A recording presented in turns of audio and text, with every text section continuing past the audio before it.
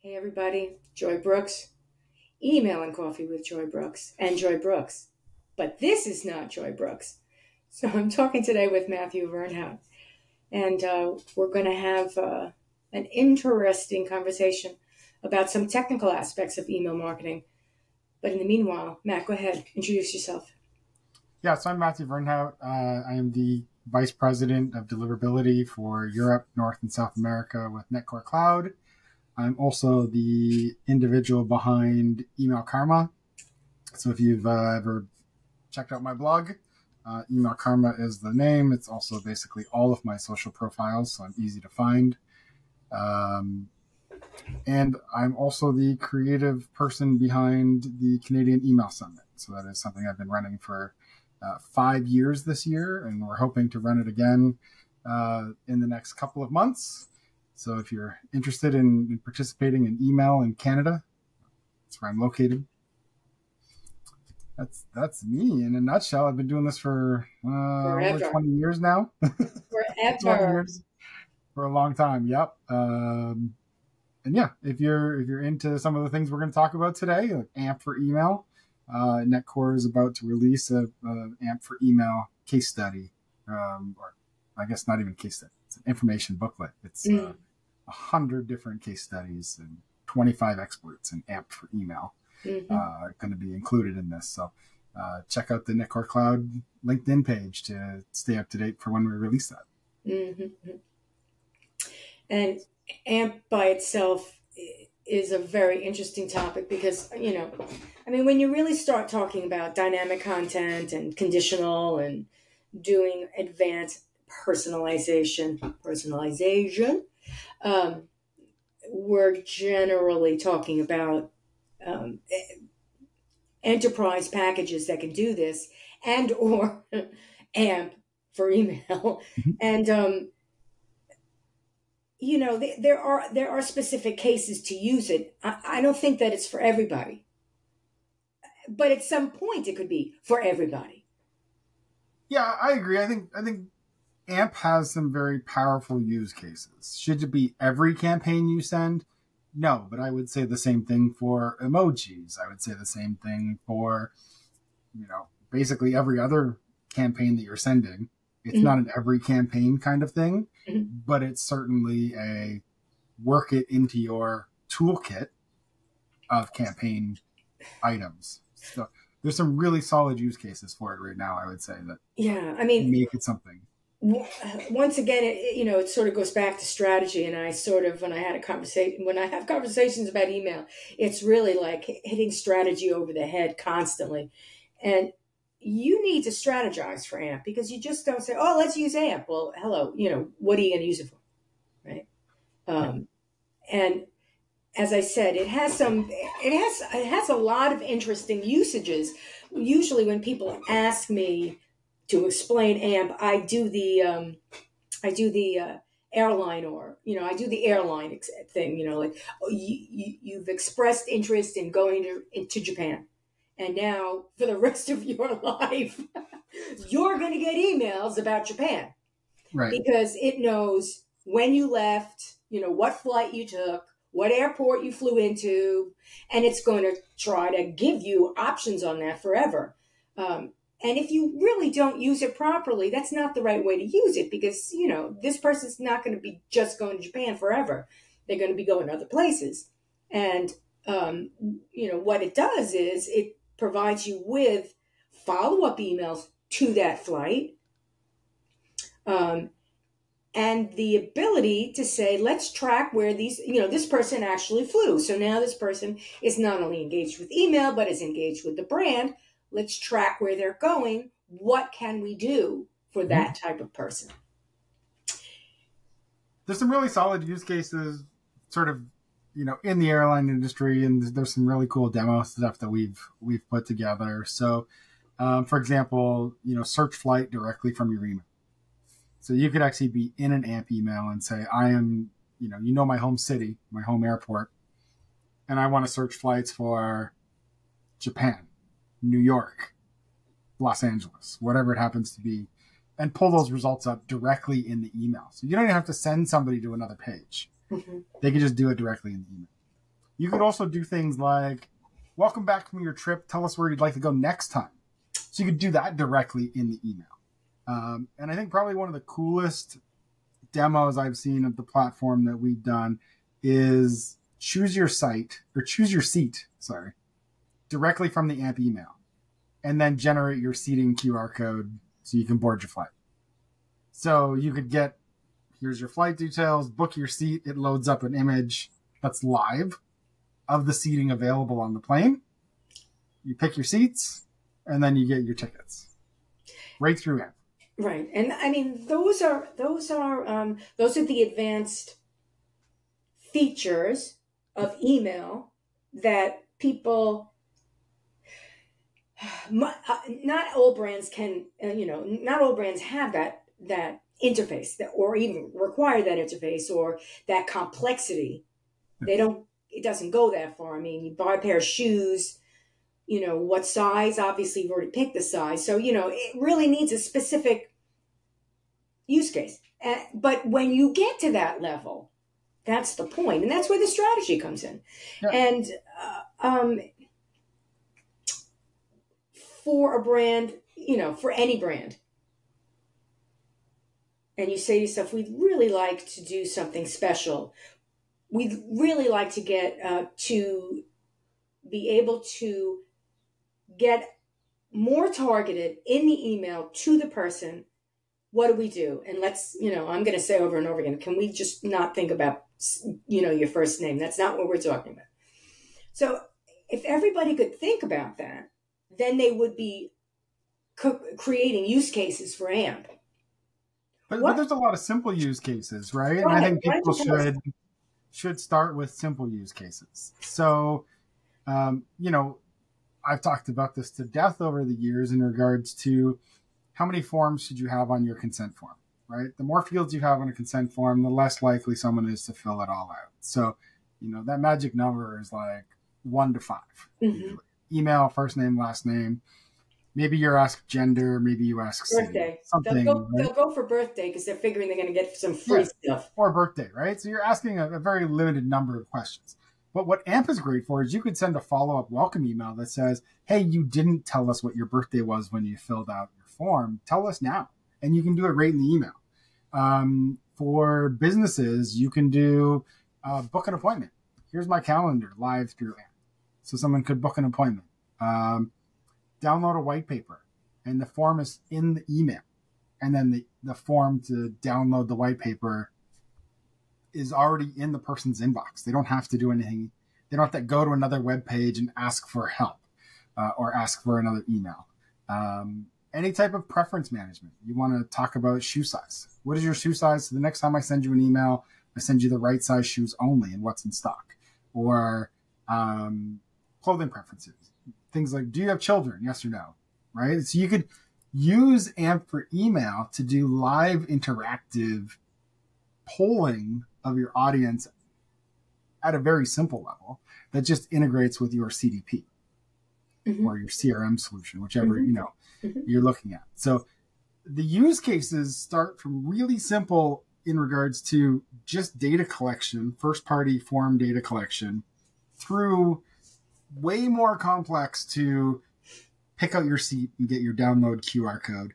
And, you know, maybe in the future, right? I don't know if we're there yet, but maybe in the future it's check out and pay through email. Yeah. Right? Like that, that is not um, a, a, a use case that I foresee right now simply mm-hmm. because uh, the security complexities behind it, who's the payment processor, where's the PCI compliance sit, um, and all of that. But could we be there in a couple of years? Sure. Moore's law says we'll be there in a week, right? Mm-hmm. um, but but the general idea being everybody can do simple AMP. You could use AMP to do your COI messaging. Click here to confirm you want to receive email from us.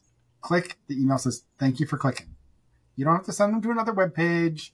You don't have to send them anywhere. It's just, thanks for confirming you want to receive email. That's the most simple use case. Beyond that, the sky's the limit. Forms, website registrations, webinar registrations, downloads. Right. Those are all very simple things. Um, and I think there's a there's a ton of use cases uh, for you know um, like a newspaper publisher as an example. Another use case could be your daily crossword comes to you through email and you can do it right in your inbox. Uh, Wordle was a big hit. You could do Wordle in your inbox. In your inbox. Right. Um, and we've built even demos of like Bejeweled in your inbox. Send someone a daily oh. Bejeweled oh. game. Move this stuff around. Gamification. Let me right? ask you a question though. Um, what inboxes are holding back? We know that Gmail isn't, or, or, does Gmail not even? No, so you know, there's still only three providers really doing AMP. Uh, unfortunately, I'd love to see more. Uh, so you have Google is, is the biggest. Uh, Yahoo, which loves AMP, they have a, a, huge roadmap of things that they want to build for AMP, from preference management to tracking shipping and all of that directly in your email. And then Mail.ru. So those are the three. Um, and I think it's it's a bit of a chicken and egg, right? It's not enough brands are doing it. That mailbox providers are really pushing to develop it because there's a lot of security implications that come with it, and vice versa. There's not enough mailbox providers that support it, so brands are adverse to spending the money to adopt. So something comes to my, my mind when you said that Verizon uh, that um, Yahoo is um, supporting it, and that's Verizon. Well, they're Yahoo now. They're not Verizon anymore. What do you mean? Verizon Did Ver- why Yahoo buy Verizon? no, uh, Verizon or Yahoo. I, I thought Yahoo got sold again. Yeah, I don't think they're part of. They manage Verizon's network, but I'm pretty sure they're not owned by Verizon anymore. I thought they were owned by the Yahoo and AOL were owned. They used to be. Used I don't believe be. they are anymore. How? I mean, how how how out of touch am I? Like a year or or less? Uh, yeah, I would say a year or two. Oh, so totally out of. Let's Google that. So I'm totally going to do it right now. Well, while we're talking, I'm going to look it up. But uh, yeah, I'm pretty sure that uh, Yahoo is uh, independent again now. Okay. Because uh, you know, I could be I could be completely wrong, but, uh, but you know, it, it's interesting because that would make that would make total sense. The Verizon would um, I'm, I'm, have a yeah. hand under the under the slip of uh, Google. It would be interesting because that is quite a competition against Microsoft. Quite, quite a quite a bit of competition. Yeah. So September 2021, Yahoo and AOL were officially acquired and renamed Yahoo. Oh, really? So you're two so, years two years out of loop. So I'm two years out of the loop. I know why. I'm two years out of the loop, and um, Yahoo's Yahoo, huh? No wonder that. No wonder nothing's changed. They're owned by Apollo Group and renamed Yahoo. I'm gonna look into that. Um. So okay. So Gmail obviously is supporting it. Let's forget about my argument about Verizon, and um, Yahoo is behind it. So, and that still explains a relationship Yahoo wants to be in relationship with Google, and that makes you know, Yahoo is Yahoo is ab- absolutely promoting and pushing uh, AMP more so I think than Gmail is. Gmail supports it, you know, even though they're one of the core originators behind the AMP idea. Um, Yahoo tends to focus on consumer experience, so they want to have an inbox that is completely consumer friendly um, and if that means interactive, engaging emails that have elements that, you know, keep a user um, in the inbox. Um, and that could be anything from like, yeah, like I said, tracking your shipping to um, exactly you light know, notifications and such in the inbox, and all of that being driven driven off AMP and schema. Um, yeah, that's they're going to drive that because it makes consumers happy yeah, we're going to talk about annotations and schema in a moment. But um, okay, so um, we've got um, we've got a really great application that is ultra smart and can do a lot of interesting things and can provide a, a really solid experience for consumers. And then we've got privacy laws that um, no third party cookies and uh, you know all of these things. And um, one definitely does not help the other. Um, one holds the other one back. And you know um, obviously i don't want all my information in somebody else's hands. And i often say when people talk to me about what do i do for a living? Oh you're marketing. Well you you know blah blah blah. And like you know what? Um, when you're buying something, you want the best experience. Don't you want your, you know, don't you want Amazon to know what you bought? Why wouldn't you? Well, have you ever talked, you know, right in front of your phone and then when you go on your computer, you suddenly getting the advertisement? It's creepy. All right, you know, I, I'm not, I'm not necessarily going to say your phone is listening or it's not, but it is. Um, but I am saying that there is a difference between going on Facebook and telling Facebook, I'm not at home. I'm at this restaurant and the babysitter is home with the kids and probably, you know, there's, that is not the same thing as I wear a size seven shoe. Two different things. Sure.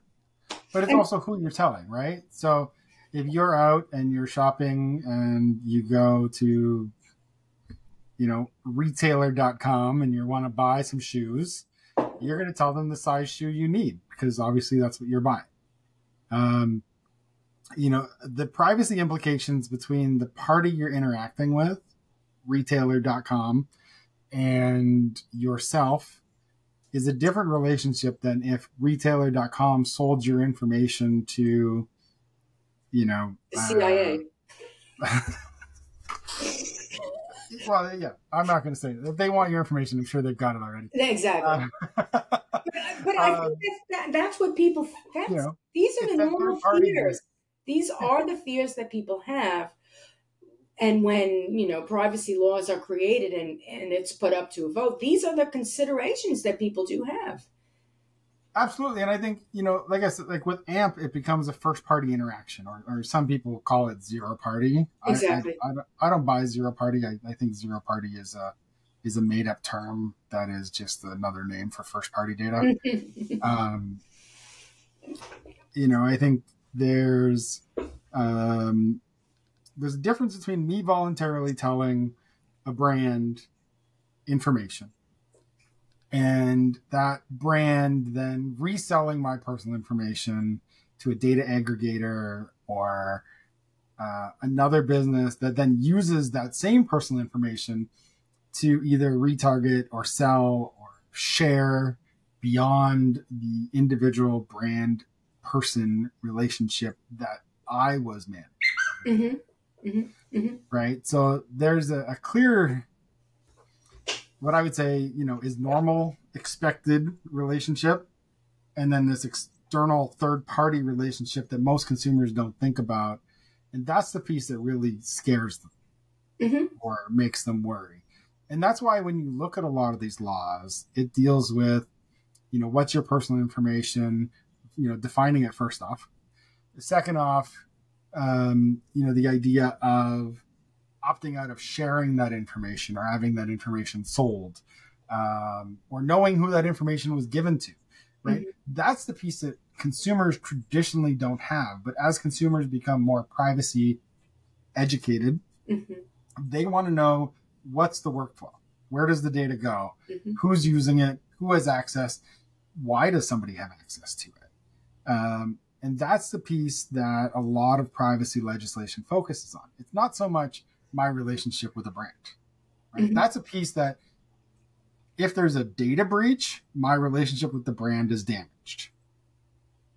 Right. But if that brand then takes that data and gives it to a third party and that third party is breached, the chances of me as an individual knowing about it is reduced because now it's one step away. Mm-hmm. Um, you know, in case it, it, unless it hits the news or something like that. But then even then, you're not sure if your data is involved. Right. Right. So it's that what happens beyond the first party piece that most consumers that I talk to, most people I talk to, um, have concerns about. Yeah. Where does it go and what do they do with it when it gets there? Um, I think um, yet another um, something messy into the um, the ingredients um, AI that can scrape and can make a lot of connections. Sure. Yeah, absolutely. I think there's and that's and that's that's more of a concern because the, they're they're already out. I mean, you could buy these things, bolt them into LinkedIn, and it does all of this great stuff that sends out all those annoying messages that you get. And um, you know, the thing is, if it's done well, if it's done again, if you have a strategy, and if it's done well, it can be very successful. I'm not saying AI is is horror. It's just if it's not done well, if it's just thrown together, it can be pretty scary. And um, I think that's what the issues should be. People should be aware that um, it's not just um, they're just not. You know, don't don't think that it's these huge privacy issues. It's somewhat um, technical along the lines of what is the company you know what is the company that just purchased your, your data doing with it um, are they selling it um, and uh, what other types of utilities are out there and how do they need to be governed so that they are not purchased innocently but can do all sorts of interesting things. Um, and, yeah, and that, that's that's you know beyond data breach. That's the concern I think people have is how are you profiling, how are you using that information, um, and I think in most cases it's how is that information going to be used against me, right, as opposed to to benefit because a lot of um, a lot of people have concerns about what is it going to be used to in my to my detriment, mm-hmm. right? Um, people don't complain about things they like People complain about things they don't like. Yeah. Um, and that's where or they just complain about the weather because they can. it's true. It's too hot, right? All winter I hear it's too cold. Now it's, it's too hot. Hot. Yeah, really. You, you, never really peak. My favorite times of the year. My favorite time of year is fall because it's not too hot. It's not too not too cold. But they, they, it's like May thirty first. The heat, you know, the the the temp the, the temperature in the house is, is at seventy, and and June first, the air conditioning goes on. Can you right. please make up your mind? Because yesterday we didn't need air conditioning, today we do. Please. Right. In any case, no, it's um, it's uh, there. There's there's a um a very fine line drawn somewhere in the sand, and I don't think the consumer really understands it. Um, and it's holding back some fairly interesting tools. Um, and then it's moving other tools forward. So, you know, as I said, you're on your computer and you go to a website, a new one you haven't been to before, and you go to Facebook, and the ad's going to pop up if if that that brand has purchased ads, it's going to pop up. It's not creepy. It's business. So that amount, that information is being shared. Well, and, and historically, consumers have said they want relevant ads, but they want to do it in a way that's privacy friendly. Those two ideas don't always go hand in hand. I know right? you're shopping. Not... You're, you're shopping for guns. You go to Facebook. Your kids are around. Yeah. And suddenly the guns pop up, and you're like, "No, I don't think that's what I want." That's not a problem I have in Canada, but okay. you know, it would be. You know, I mean, I'm not no, going to say porn because I doubt. Although, let me just tell you, there was a point. There was this window, a very odd window, when Twitter was purchased, then I was getting emails from Twitter with straight porn. And I was like, oh, th- th- this is not good. The algorithm changed. Well, a lot of people left too, right? So a lot of people left. So the data that was available changed. And it might have been the same targeting, but based on I have no idea why other, was sending me that. Yeah, I was freaked out. Interaction. I was creeped out, and I was like, "Is this being done intentionally? Because is somebody trying to sabotage something?" I just deleted it It's because I didn't want to. I didn't. I didn't want it to track me Right. Because it's you know it's baiting you at that point. Go ahead, hit me because that means that's what you want. Yeah, feeding the algorithm is is is certainly something you have to be careful of too, Yes. right? Um, you know, even like looking at things like TikTok. If you watch a video for more than say five seconds, it thinks I should serve more videos like this to you. That's right. Um, so you know, there are certain things that consumers have to take some responsibility to, That's right. right? That's so right. if you're concerned about things that you say or see, um, you know, it's it's an old joke in the in the email field and probably others, but the idea is like never say anything on the internet you don't want read in court later, hmm right? So That's be right. cautious of what you say and how you say it and who you say it to. Be cautious of the things that you click on. Be cautious of the things that um, you know you don't want others to know Right. in the future. Right. Um, and that's where, you know, that's where things like uh, Privacy Badger. So if you don't use Privacy Badger, you should look at it. So Privacy Badger is an in- interesting tool. It's from the uh, EFF, which is the uh, Electronic Frontier Federation. So they're very pro consumer privacy. Uh, they do a lot of great work in the background, uh, but they have a, a, a plugin for your web browser that blocks tracking cookies and blocks third party stuff that may do nefarious things. Uh, and not even nefarious, but like unexpected consumer things. Mhm. Um, you know, there's other plugins that you can get to block third party Facebook tracking, to block tracking for other things. You can go into all of your settings in almost every app and turn off the follow me around the internet option. mhm. So consumers have tools that are, you know, in a perfect world would be on by default, but are typically turned off by default. Um, so educating yourself and, and going in and, and learning a bit more uh, about your privacy options. I'm I'm 100% for that, right? yeah. Um, you have to take some responsibility as a consumer to manage your data um, and be aware of who it's being given to and where it's going. Um, and then, you know, we'll get laws like PIPEDA here in Canada or the CCPA in California that come back and say, well, now you legally have the right to go to an organization and say, what do you know about me and what are you doing with my data? And if you don't like it, you can then go back to them and say, you can't sell it anymore or you have to delete it.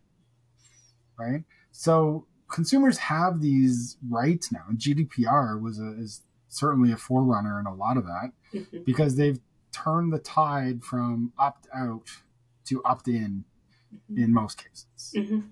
Right?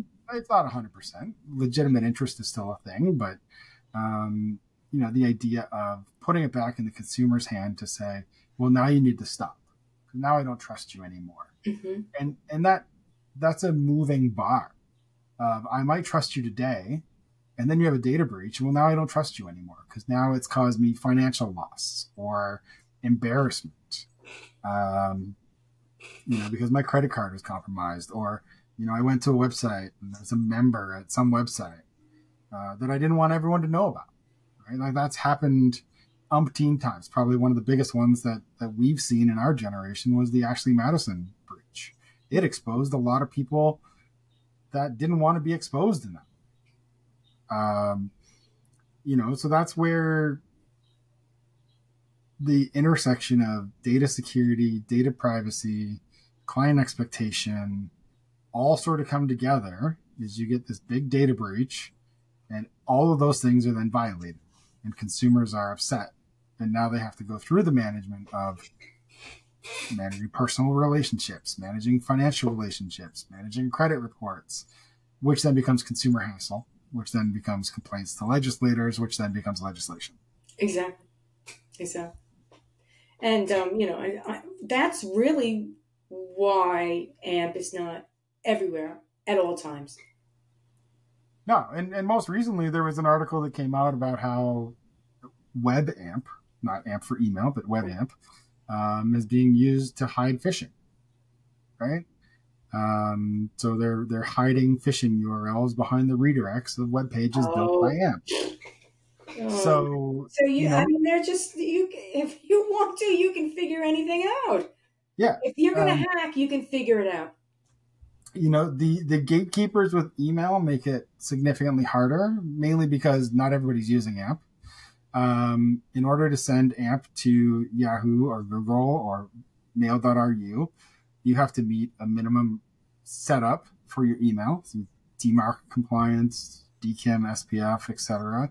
They're gonna, in Google's case, they review your email. They want to know that you're capable of sending quality AMP email. So they basically say, send us a test before we let you use it. Um, you know, so there's gates currently in the way, mm-hmm. right, for these things, much like BIMI. There's gates in the way right now for that, so that's why not everyone's doing it. It's not. Okay. Well, we'll talk also a little bit about BIMI, like what um, it is um, and why people should do it. But that's a whole. That's a a 30 minute conversation in itself. Yeah, I know. I know. Yeah, I know. I know. but I, I agree. Like people, I just had a conversation with a client today about BIMI and, you know, they came to me and they're like, well, you know, we have a lot of websites. And I kind of quickly did the math in my head and I was like, mm. that's a big investment for you to go out and do that for all of your brands. Uh, because you're looking at anywhere from, you know, a thousand to fifteen hundred dollars per brand. If a hundred brands, that becomes very quickly uh, a big budget item for a brand. Mm-hmm. So, is it possible now? Uh, you know, it, it's a challenge, uh, but lots of brands are starting to do it, right? Uh, I I'd like to you know explain BIMI a little bit more because it's, you know it's more than just my logo shows up in the email hits the box. It's a little bit more than that. So um, and you know, getting people getting people to do SPF and DMARC yeah. is enough. Sometimes by that time they have you know only gray hair or no hair left in their heads. And you know you've had to literally get into their web you know go into their dns to do it because they have no idea what the devil please help me i can't do this. Um, or or the web administrator or their you know their their administrator is like why does your email person need to get into the dns because we're talking about email why do they need to well, it's it's kind of odd that they don't know this by now Right. You think that at this point in time, the IT person would go, "Oh, we're doing email. Okay, they're going to need to get into DNS. They're going to have to, you know, they're going to have to adjust some text records. Okay, all right, it's okay." But yeah. it's it's always that conversation.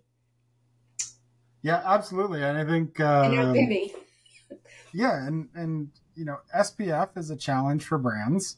Um, even though it's been around 20 years, it's a challenge for brands. I see SPF records all the time that are over 10 lookups, that are incorrect or using bad formatting, still using PTR records, even though those have been, you know, depreciated or recommended not to be used for 10 years. Um, you know, I had a conversation with somebody the other day that's using SPF plus all, basically authorized the entire internet to send email on their behalf. and their response back was, "We can't do it any other way because our support, our platforms don't support it. but uh, yeah, like which I, I, don't believe. I think everyone should be able to do it. You just need to know how to do it. These are right. people that choose not to uh, learn how to do it properly. Um, you know, again, like there's three basic authentication solutions I would say every brand should use for every domain they have: SPF, DKIM, and DMARC. If you're doing those things properly, you shouldn't have any problem you're protecting your brand, you're protecting your consumers, you're protecting your own network.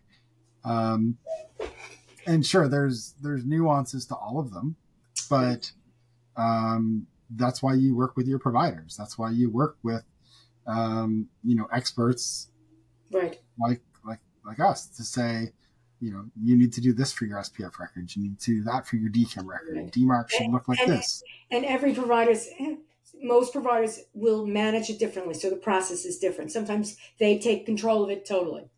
Sometimes Absolutely. you need to do it. yeah. Like some providers will do NS delegation for a subdomain and they manage everything. Others will say, here's a couple CNAMEs, go and set those up. Others might say, you know, here's a bunch of A and text records and MX records. But in the end, the way you manage it makes it that much better, right? right. Like you should never come back and say, "Well, I have to use the authorize the entire internet solution," simply because you don't know how to do email. Right? if that's the case, your provider is doing you a disservice. Right, eh, right, and, and, you know, eh, if you've got, you know, if you're hitting your head against the wall trying to get into your DNS to update, or they're giving you the wrong information, again, you know, they're doing you a disservice. If they're telling you, "Oh no, it has to be this way. We have to let everybody in. It has to be," you know, yeah. this is the attribute. Yeah. And you know, I, I don't know how many times it's happened to me as well. You know, you whether you're, you know, you, there are so many people that are using GoDaddy, right? So that means you go into GoDaddy or you make the phone call, and it really depends on who you get on the phone when you make that support call. Yep. You can get somebody who knows everything is going to do it for you. Somebody who knows nothing and is going to tell you you can't do it because yep. they don't want to be bothered. So yep. I have, in my case, made like three phone calls and I finally get the right support person, and, and I'm like, thank God. And it's not, right. you know, it's uh, it's life after COVID.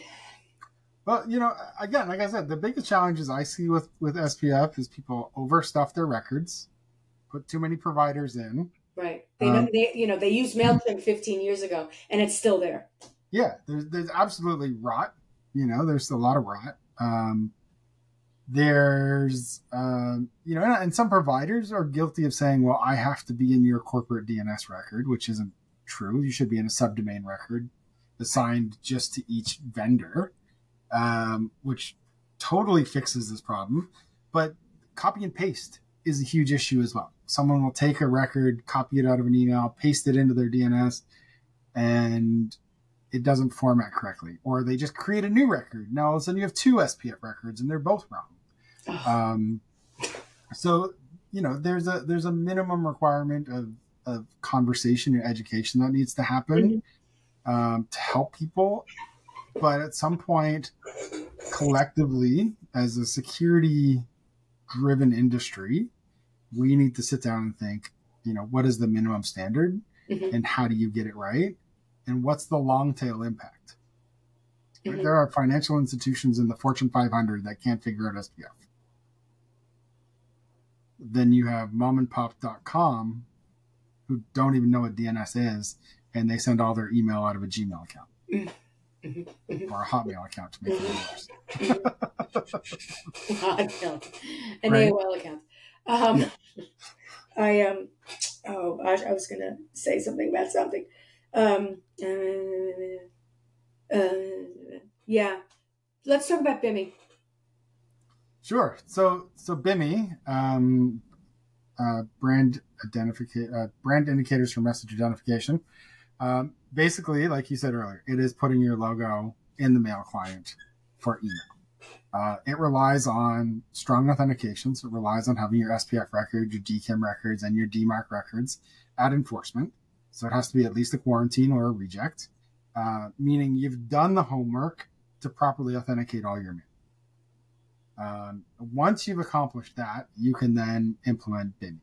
So you get uh, your logo, which uh, currently requires trademark. Uh, so that's another hurdle, and that's where like this becomes mm-hmm. that current stopgap for people, right? I don't, I don't own a trademark. Like I don't own a trademark on my logo. Mm-hmm. I don't own a tra- I own a copyright on it. I've used it for 16 years. I own a copyright, but I don't own a trademark. Um, so I can't get a BIMI cert myself. Mind you, it's a thousand bucks a year, and I'm not necessarily going to shell that out either at this point. If I was an independent consultant making a ton of money, then maybe sure. Um, but the idea being, you're a brand. Hopefully, you own your trademark. You can then go out and get a verified mark certificate uh, that says, "Yep, this is my logo. I own it." You build the DNS record, and then you know Google, Yahoo, Fastmail, a number of other providers as well, um, will start putting your logo in their mail clients and their mobile apps for their consumers to see. Uh, it does require a certain level. Like I said, it's like a ride. You must be this tall to ride. Mm-hmm. And that's how it is. You must be this tall to ride. Um, the reward for some brands is absolutely worth it. Though, right? mm-hmm. a thousand dollar investment to increase open rates by five to ten percent, click absolutely. rates by two or three percent, is going to outweigh the thousand dollars a year cost mm-hmm. by far for a lot of brands. Mm-hmm. Um, and it, it really is like you know think about grade school it's that gold star because you did a good thing this week at school right, right? That's well it's it you know brand recognition right there i mean it's yeah most people recognize a picture before they recognize words right, right? and obviously you know that means that you've done work with your logo so when it's that small it's still recognizable absolutely and that, that's why it's built on an svg graphic as well right, right. so the idea is the, it's the vector graphic um, looks good at, at, teeny tiny size and looks good at super giant size um, because it scales nicely. And that's why when we were looking at the, the, the process, SVG was chosen. Um, they're relatively small as well, so they're they're quick to, to deal with over the internet. Um, and uh, you know, we we took a lot of the the features out and actually created what's called Tiny Portable Secure, uh, for SVG.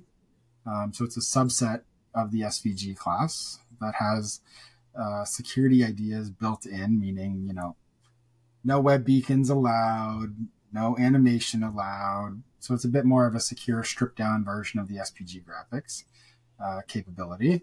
Um, I have to stop saying SVG graphics. G in SVG is yes. correct. Uh, the it's SVG a, image. It's a tiny shrimp. that's right. Um, you know, I think that's the piece. Looking at it in regards to, uh, you've done the homework, you did all the SPF, the DKIM, the DMARC stuff, and now you get to say, "Here's my logo as well." Mm-hmm. Um, providers like Yahoo and Google, when you do that, we'll actually put a little check mark that said, "We've verified this logo and sender are related." Who, who doesn't want a check mark? Who doesn't want a check mark? Um, um, I, but you know, in the back of my head, and I don't know why I'm thinking this, because I know that Gmail will send your your personal picture. So if you've got a profile picture, it's going to send it. Do they do any logos on the fly? Because I'm thinking they do. So you could set your profile picture to be a logo. Um, and then when you send email, that profile picture will be your logo. Right. Um, however, you know, will that support last forever? I can't say, right? Like Google might say it's BIMI or nothing. Um, you know, they used to use social profile. They used to use like so if they could tie your Twitter account to your domain name, they would use that. Um, Yahoo did the same. Um, you know, Gravatar was a thing for a long time. Yeah. Um, but again, you know, as we move to more secure and more quick to verify ownership and logo management of things, I think you'll see these platforms gravitate towards the more secure option, mm-hmm. uh, as opposed to one that anyone could uh, implement. Um, mm-hmm. and even now, you're starting to see it. So if a brand shows up, uh, you know, if I were to send you an email from my work email, the BIMI graphic would show up as Netcore. Mm-hmm. And then if you hovered over my name, the profile card that shows up would be my image with my information. Mm-hmm. So you're going to have the ability to have both the brand logo and the user profile show up uh, with different images. And that's pretty important for B2B. Sure. Yeah. Pretty important for B2B. I just, you know, I I'm not going to say it's an argument, but uh, I adhere to the fact that people don't read the subject lines. It's really brand recognition. So it's that from address. And um, if they're not rushing through their emails and they're looking for something specific, then they're going to start to read the subject line. But mm-hmm. if they're, you know, if it's, and this is the difference between B2B and direct to consumer this consumer may not be looking at it at all. They're just waiting for that email to come in because they want to shop. And they don't care what it's about. They're looking for the coupon or whatever, and they're shopping. So go ahead with the, you know, you can go into A B testing until the cows come home. It, it's the results are dark. You don't know that in fact it's just that it's time for this person to shop. That's it. You know, it's summertime and they want they want swimsuits and sneakers. Right? It's just it just it's just that. It has nothing to do with anything else. But for for B2B it's it's so much more complex. It really is because um yes, when a company finds it time to connect with a vendor or a client, which are, you know whatever the relationship is, there they may be searching for email, so the subject line is important. But the initial sub, you know, you get the email in. I don't think they're necessarily looking at the subject line. I don't think so. You know, I scan subject lines, but again, like being an email geek and being in the industry, like, I'm not. You know, I know what I subscribe to. I know what I don't subscribe to. Um, I scan subject lines for me because I get so much email. Mm-hmm. Subject line at least gives me some insight as to what's inside, whether I'm yes. going to open it or yes. not. So for yes. me, it absolutely makes a difference what the subject right. line is. And that's um, that's the B two B mentality. It's like you're getting a lot of mail and you are looking for some messages, so you're going to scan them, right? Yeah. That's the B two B mentality, and and really that is. It's not. It might not be so much. Well, you know, I, am hmm. discussing it ad nauseum. But um, but uh, I get a few thousand. I get a few thousand commercial email a month. So, you know, for me, I need to be scanning subject lines, or else I'm never going to engage. Or I just use the search function in, in my email. Right. That's that's what I said. Um, that is that is the mechanism. That is the mechanism. That's when the subject line comes in handy, and that's what people really should be thinking about when they build a subject line. Is it searchable? And does it, you know, is is that the content that they're going to find? Because you're not doing them a service at all. If it, you know, your emails look this, you know, this catchy, you know, groovy thing going on there, which, you know, everyone can laugh about, but doesn't provide them with anything in the guts. Right. And, you know, the other thing that I say all the time is that the only people that are looking at the layout of an email, you know, the complexity of the layout of the email, are marketing people. That the consumer has no clue what the heck you're talking about. If they get an email that they can read, that's all they care. I mean, that they could see, that they could read, the images are nice and crisp and clean, there's yeah. no mistakes. That's all they they care about. They are not running around the house showing everybody, look at this email. I want to do this email. How did they do this email? Oh my God this. E- Nobody's doing it on the phone. Oh wow! I just got this email. Nobody's doing that. We my do wife, that. We do that. My wife, my wife will be like, "Look at this email." Well, of course. Either because it was good or because it was awful. Sometimes it's, "Oh my god, look how broken this was," but right. other times it's, it's, uh, you know, she'll but send she me knows something. because for the business you're in. Right. So it, I again, like I said, I'm not the ideal audience for that, but um, I also understand that. And yeah, absolutely. Like we as an organization, even here in NetCore, we look at what other people are doing because it inspires us to go back to our customers and say, you could be doing this too. Uh, so yeah, I'm not the target audience for most of these things. Uh, I'm a passive subscriber in a lot of cases. And uh, when I want to read your email, I go and I find it and I read it. Yeah, yeah. You know, I I had a um, a situation with a client that their images um, they weren't that old, but they had people with masks on, mm-hmm. and they were they wanted to send them out this year, and I was like, I'm like it's. I understand where these pictures are coming from, and that this, that, and the other thing. I said, but you're reminding your consumers of something that they might not want to see. Yeah, and that's where personalization comes in too, because like I've seen really cool personalizations from like car companies where they'll send you, you know, your car's due for service and they actually put a photo of your car in the email because they know the car you have, right. or at least the car you had the last time you saw with them. Right. Right. So the, they would put it in, make, model, color, everything, and be like, your car is due for an oil change. Right. And you instantly relate to that because you instantly relate to the image of your own car or the model of your car. Um, you could do the same with if you knew someone's ethnicity. You could change all the images of people to be a matching ethnicity. Right. Um, if you want. Um, there are lots of cool things that can be done that Yeah. that are you know that that that that help and you know that are relatable, that are targeting, that are focused, that are doing all these really cool things. and that aren't creepy. That's the one piece I would always say Well, when they about get wrong, they're creepy. Is don't be overly creepy. Yeah, when they, when when it's wrong, it's creepy because you're like, mm, no. Well, if it's the nose, it's creepy.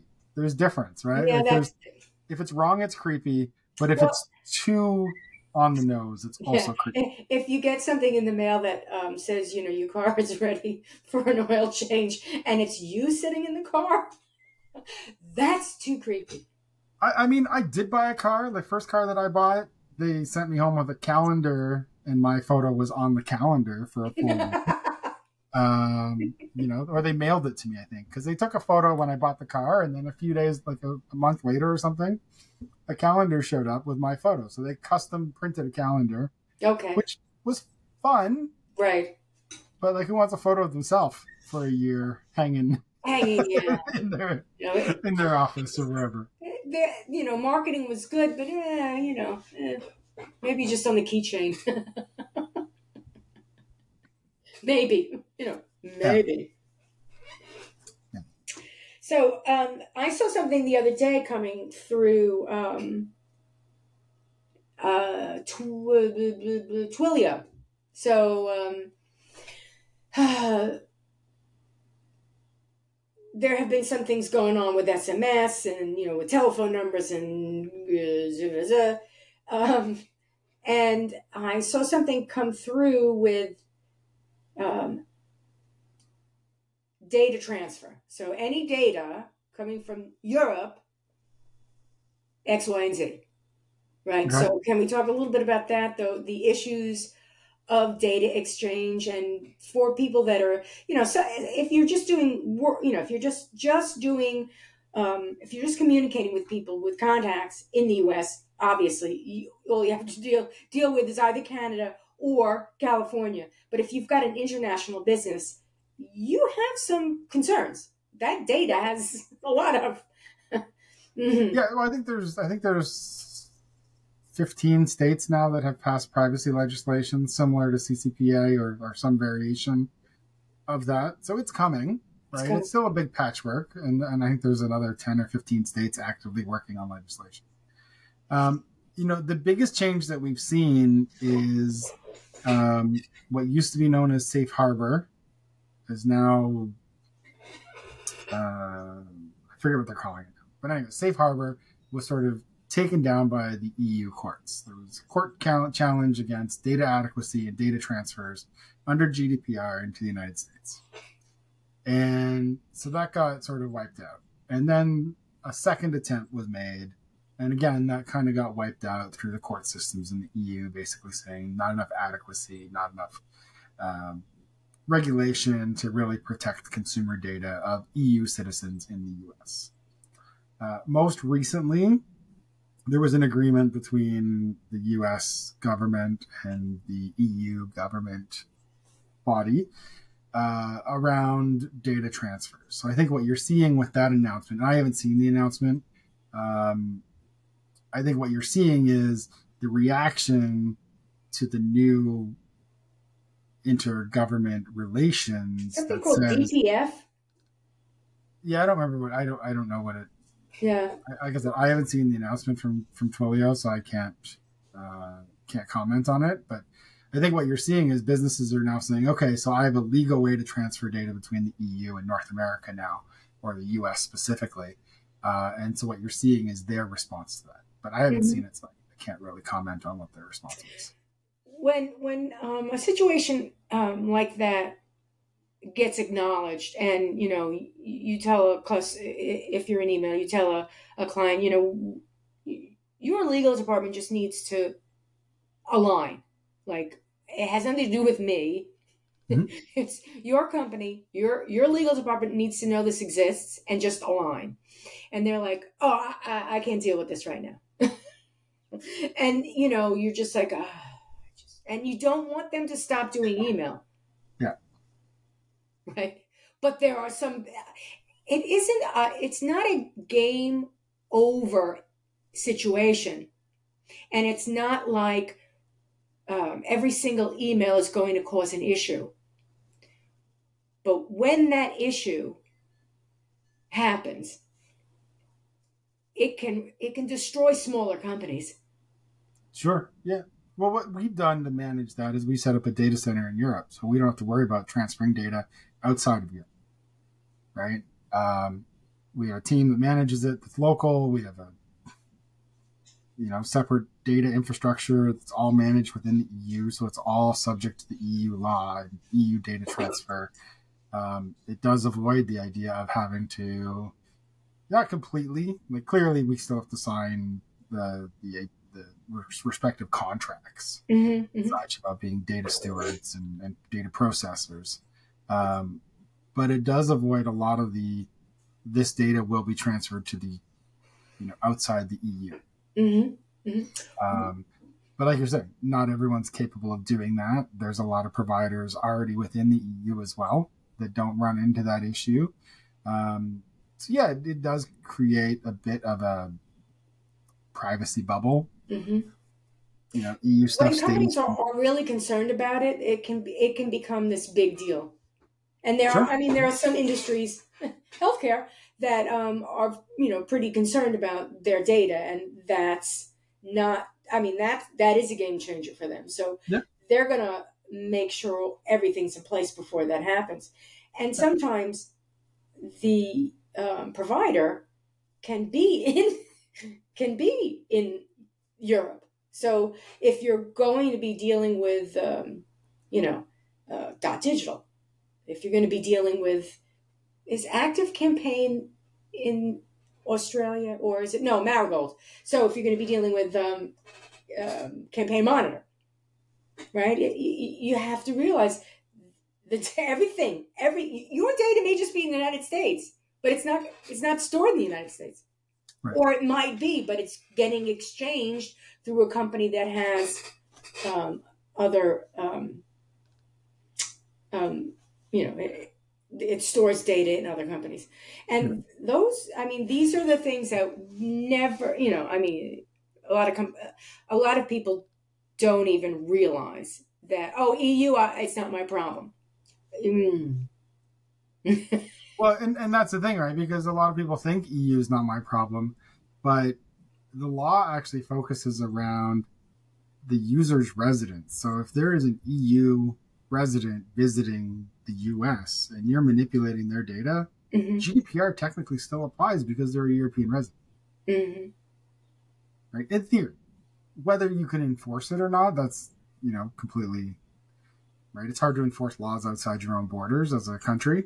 Mm-hmm. But, you know, it's uh, not to say it doesn't happen, but it's a much more complicated process. Have- Probably one of the one of the ones that sticks out for me the most was the uh, Canadian government, the CRTC, uh, issued a notice of violation to Ancestry Ireland for uh, under the anti-spam legislation. But because they're based in Ireland, it's much harder to actually enforce it. Uh, so it's not a monetary penalty, but it's a I'm going to embarrass you publicly by saying you violated the law. right. Right. Right. Um, so you know, there's there's public embarrassment, and then there's enforcement, which is much harder to do outside of your um, your boundaries. Have Have you? Are you aware of any any any um, cases where companies have really broken? Um, so, so all the cases that have been through, um, for the most part, within the Canadian anti-spam legislation, have been valid under some form of a violation, mm-hmm. whether it was intentional violation, um, like egregiously going out of their way to knowingly violate or not. Um, you know, one was uh, there was an unsubscribe. It was fully functional, but instead of being a one click, two click unsubscribe, it was eight pages of data you had to provide to unsubscribe, which is a violation. You could do it, but it's a violation, right?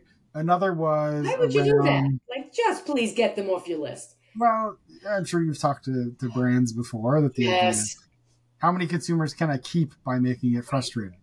Right? Consumers use the report spam button when that kind of thing happens. Yeah. Um, you know, there was another case that was a very small sender. Uh, you know, a private business owner doing it on his own, sending it from his home business in violation of the law. And they said, yeah, you violated the law. You sent unsolicited emails to people. And he got a very small fine because the fines are propor- proportionate to the violation, right? Sending 15,000 emails in violation is a lot different than sending 150 million emails in violation. Mm-hmm.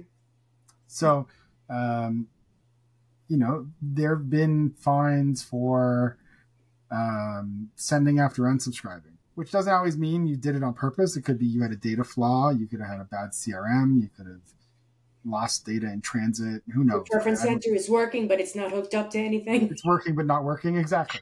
so, you know, I don't think any of the cases that have actually resulted in fines have been for anyone doing anything super egregious um, or malicious.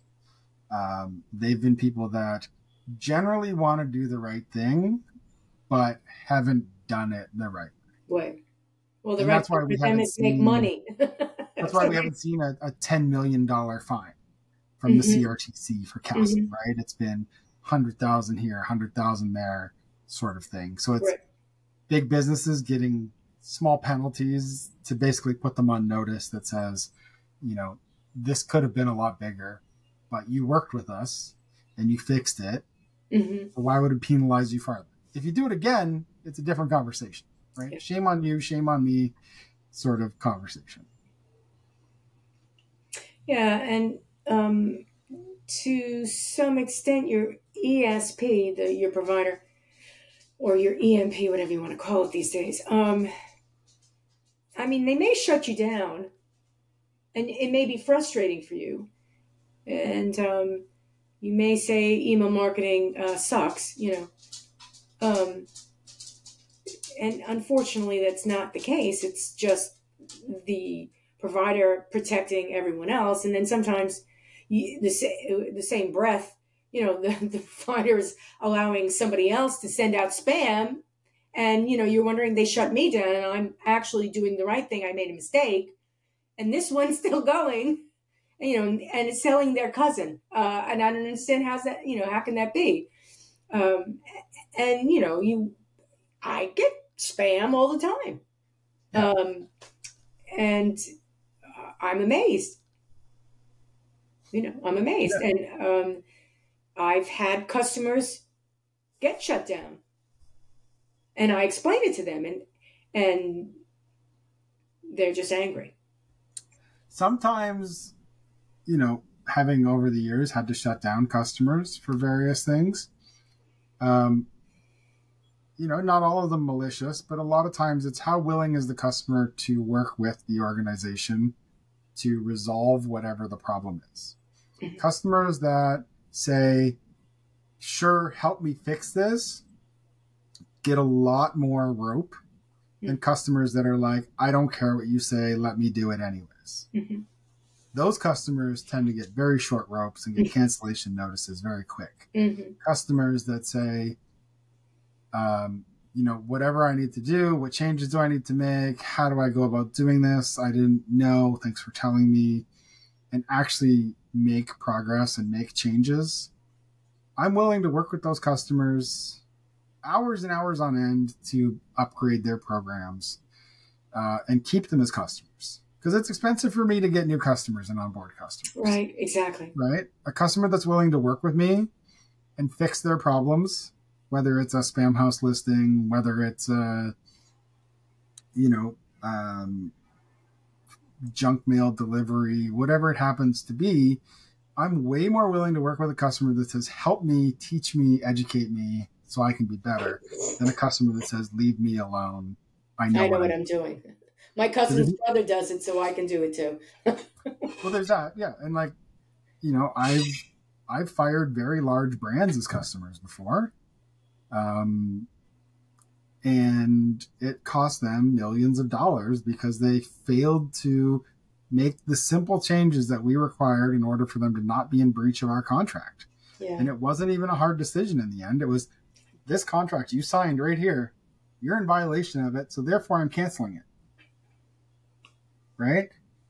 I have a legal recourse to do that. It's my network. I can send what I want. Um, you know, and it, it impacts their business. Um, but I've also worked with very large senders that have big giant programs where left hand doesn't know what right hand's doing to get them all in a room and educate them all and make an internal process for them and figure it out and allow them to carry on and become better senders as an organization.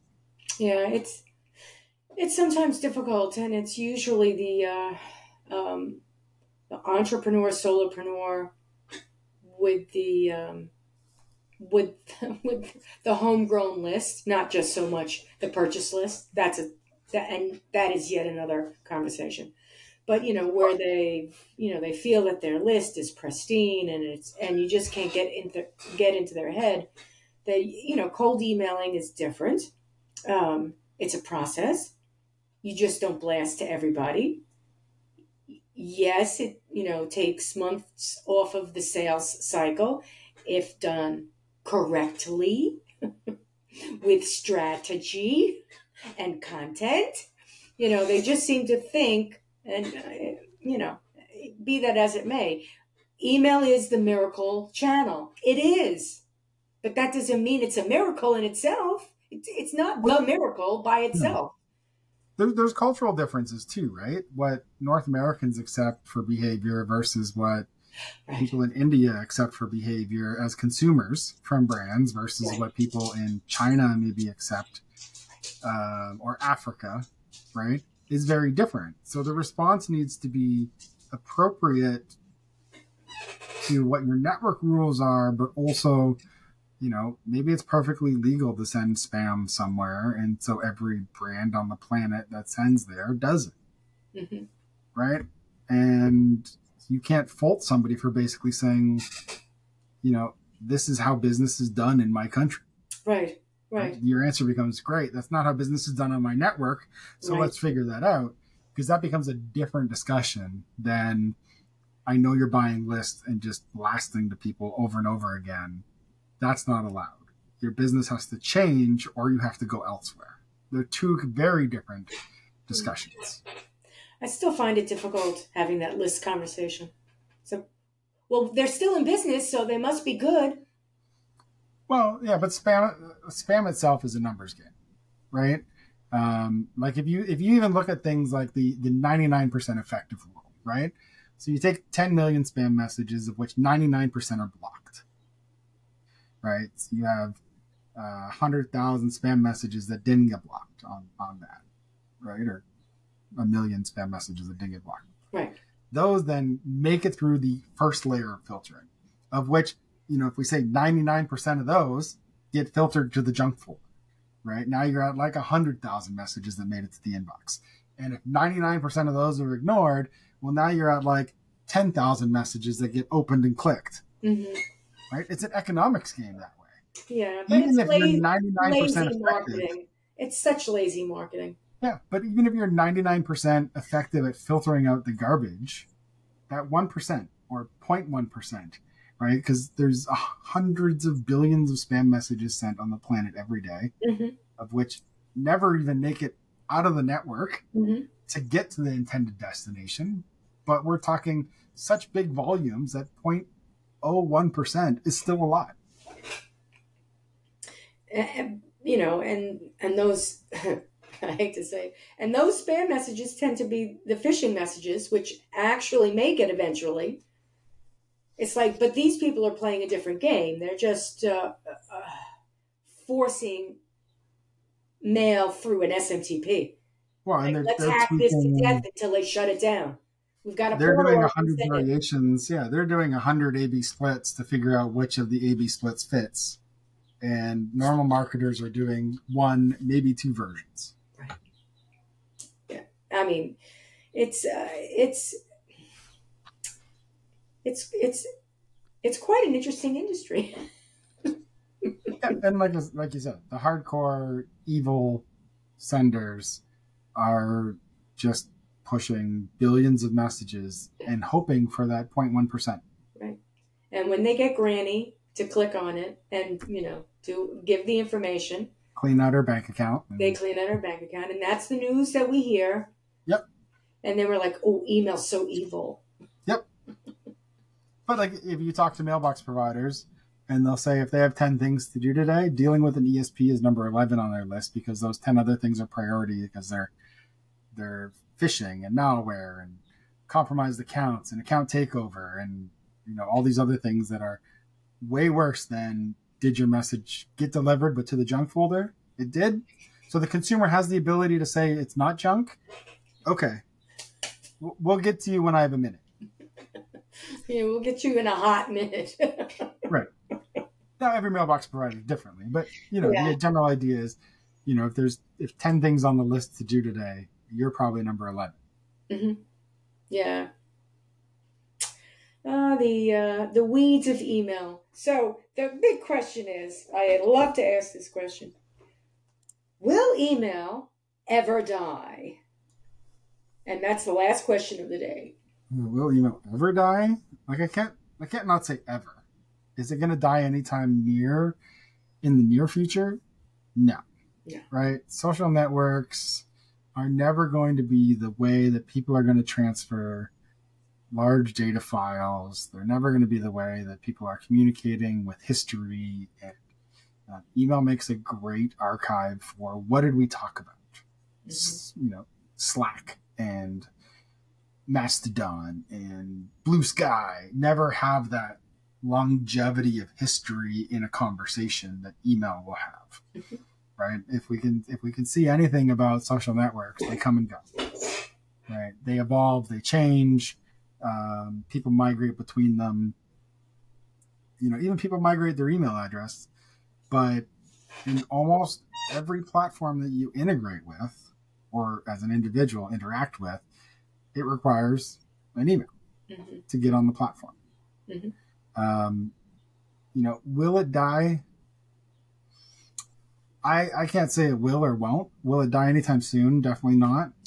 Will it continue to evolve? Like is is AMP the end state? I don't think so, right? AMP is the next step. What's beyond AMP? Who knows, right? But I think we need to get to a point where, you know, 20 years ago, we were sending multi part emails that were text. Do you remember rich text AOL MIME type just so you could get AOL delivered and then HTML? So you had three MIME types you were sending for email. Well, now we're down to two. Well, now we're back to three because we're getting into AMP. Well, hopefully at some point we can say HTML type doesn't exist anymore. We're going to send text and AMP only. Mm. And then maybe we get to a point where it's text and AMP and whatever the next iteration mm-hmm. is. Mm-hmm. AMP 2.0, AMP 4.0, or whatever it is, right? Mm-hmm. Um, but at some point, will it go away?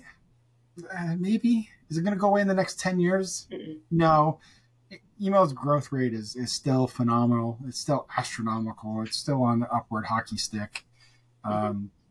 It's not going anywhere. It's it's sticking around. It's going to be, you know, around a lot longer than some of these other social platforms. I think.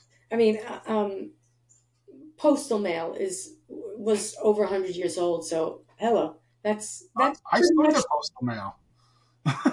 you know, direct mail has is still direct mail is having a revival.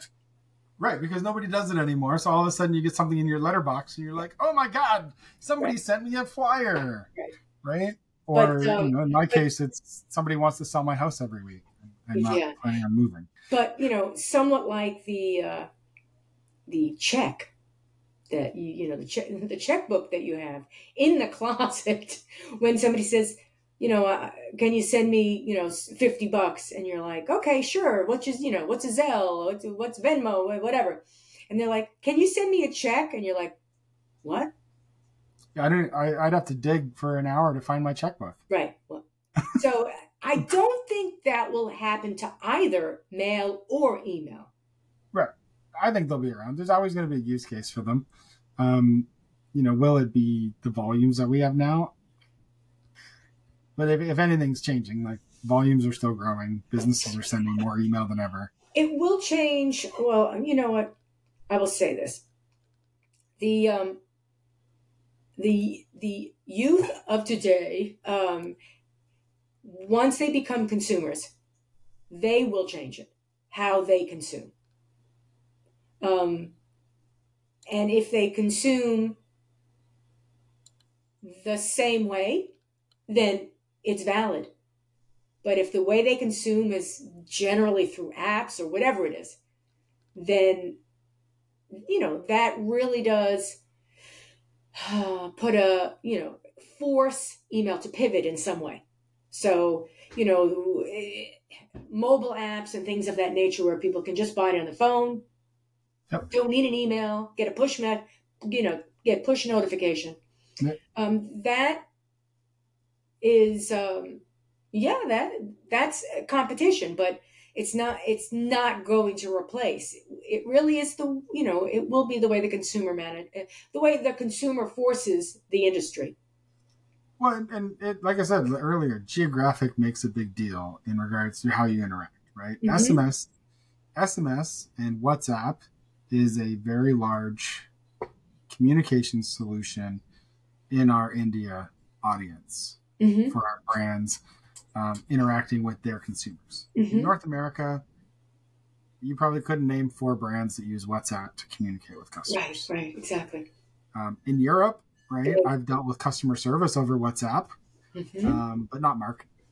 You know, SMS marketing happens here a bit, Mhm.